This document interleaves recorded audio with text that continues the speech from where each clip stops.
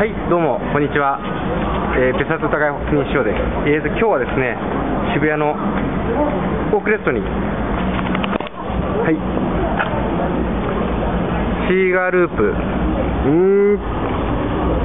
カモメロックフェス、ボリューム3、ワンマンですね。はい、シーガーループさんのライブに来ています。ワンマンライブを終えたシーガーループの皆さんです。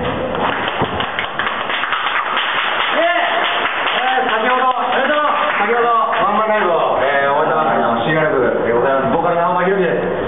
ドラマ小松弘です。規模の玉子です。ベースの安藤です。はい、えー、ということでございまして、えー、シーガループはですね、あのー、まあ今日、えー、8月1日、渋谷のワークレストでワンマンライブを行ったわけなんですけれども、はいえ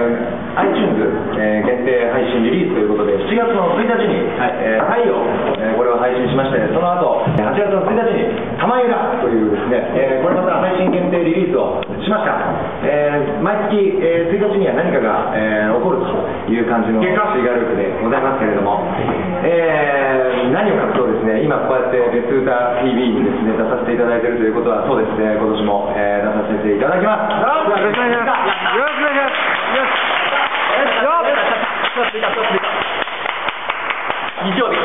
えー、愛すべきですね、塩の、えー、兄貴にですね、誘われまして、兄貴が非常にえー素晴らしい先輩方とですね、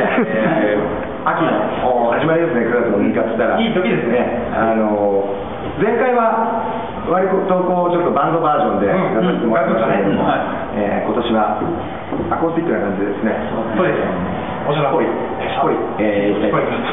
思っております。それでですね、あのまあ、もちろん、えー、9月の6日、えー、大事なんですけれども、えー、そんな、えー、シーガルムでございますが、えー、こちらをご覧ください。すごいね。はい、えー、カワイロックフェスファイナルということで、えー、11月の29日、日曜日、渋谷のクラブクワトロにて、えー、ワンマンライブが決定いたしました。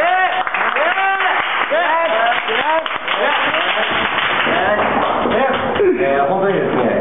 えー、まして、えー頑張っていきたいなと思っておりますが、真剣です、えー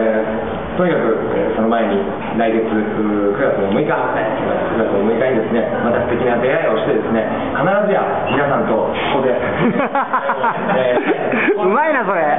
まずこれ、まずこれ、まずこれ、まずこれ、まずこれ、まずこれ、まずこれ、まずこれ、来ていただければなと思っております。それでは上野で9月6日に会いましょう。シラルでした。バイバイ。